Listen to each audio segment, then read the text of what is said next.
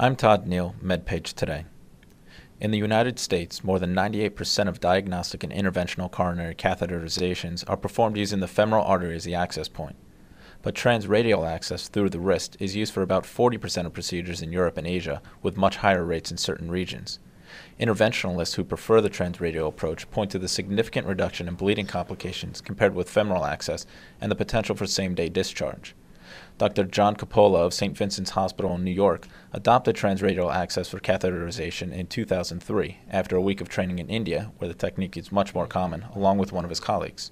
Uh, when we came back from India, both Dr. Kwan and I were convinced that this was a uh, procedure that potentially was safer, but also more comfortable for the patients. Uh, if you had someone who had back pain, someone who had uh, a man with prostate problems who had a problem urinating lying down, you didn't have to confine him to bed for six hours after doing a femoral procedure. We were able to get the patients up immediately after the procedure.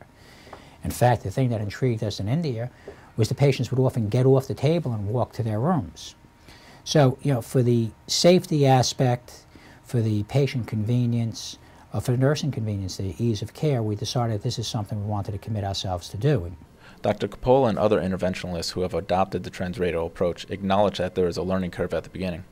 Dr. Coppola estimated that it would take about 500 procedures to really feel comfortable and overcome the learning curve. As experienced as you are as an angiographer, there is a learning curve for doing radial procedures. Uh, the access is a, a, little bit more difficult, as you saw this morning, the artery being a little bit smaller, so it takes a little bit uh, different technique to access the artery. And occasionally the radial arteries will have loops and bends in them that make negotiation of those loops and bends a little bit more um, challenging.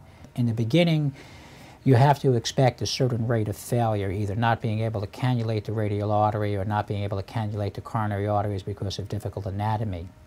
And as time goes on, your failure rates become less and less. Although Dr. Coppola has begun teaching his fellows from their first year on how to perform catheterization using transradial access, uptake has been slow in the U.S. as a whole. And I think the reason is that uh, in the United States, many cardiologists will do multiple things.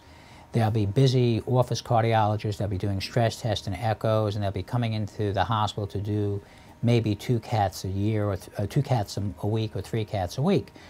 So someone who's doing 100 cases a year says, if I have to learn a new technique and it's going to take me five years to master the technique, why bother? I didn't learn this during my fellowship. I learned how to do femoral procedures during my fellowship. I can do those in my sleep. I'm not going to bother learning a new technique. So I think that that's one of the things that is different in the United States.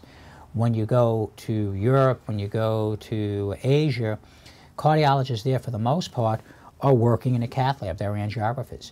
So all day they're in the hospital. So if they want to learn how to do transradial procedures, if you're doing a thousand procedures a year, it's going to take you six months of commitment to do this.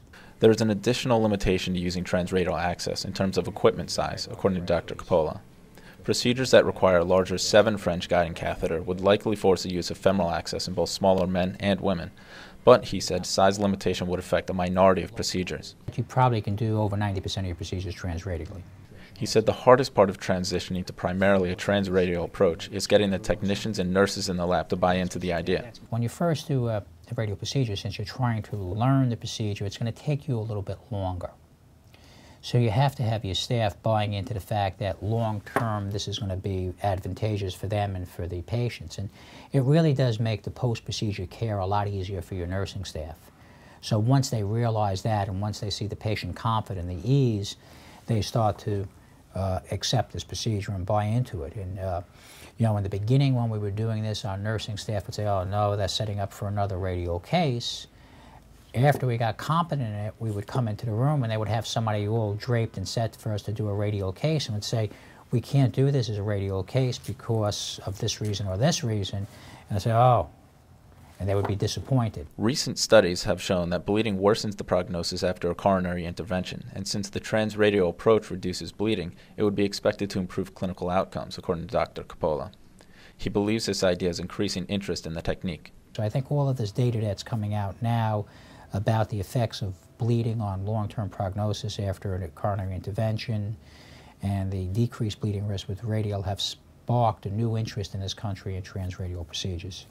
He said up to 50 physicians at a time are on a waiting list for the transradial training program at St. Vincent's, but because of his everyday work responsibilities, including training fellows, he can't accommodate all of them.